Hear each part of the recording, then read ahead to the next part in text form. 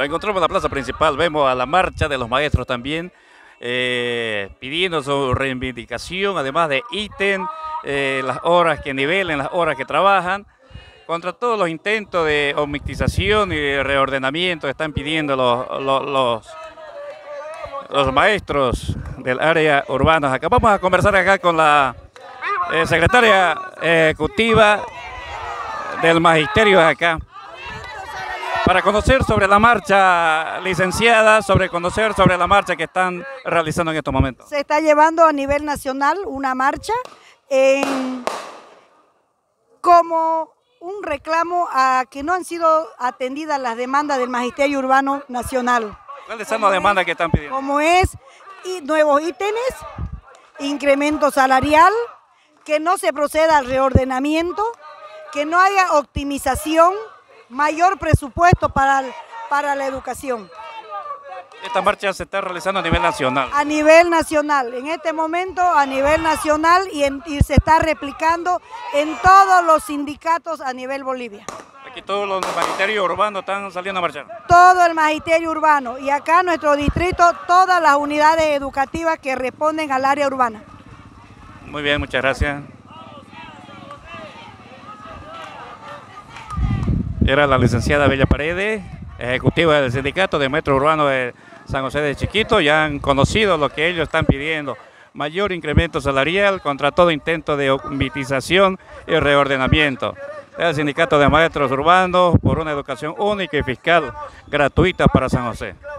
El Colegio Santa Clara también que piden la nivelación de horas.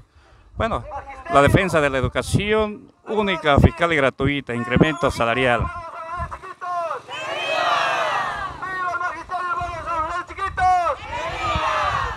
Claro, vamos a seguir conversando algo que va a implementar la, la licenciada Bella Paredes, que es la ejecutiva del Sindicato de Maestros Urbanos de San José.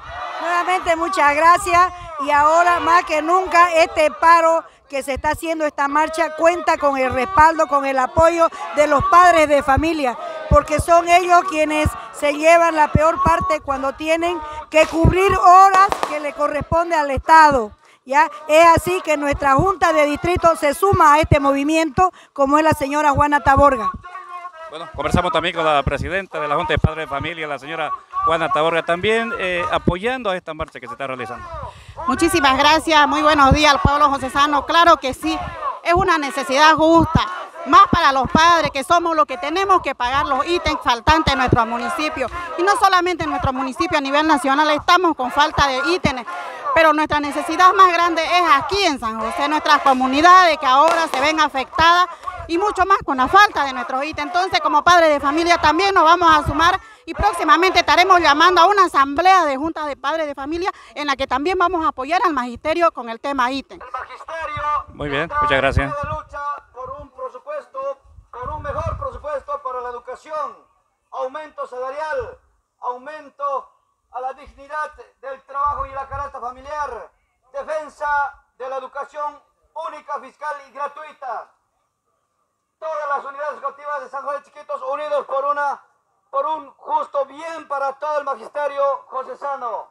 Mayor incremento salarial contra todo intento de optimización y de ordenamiento incremento salarial, nivelación de horas, dotación de ítems.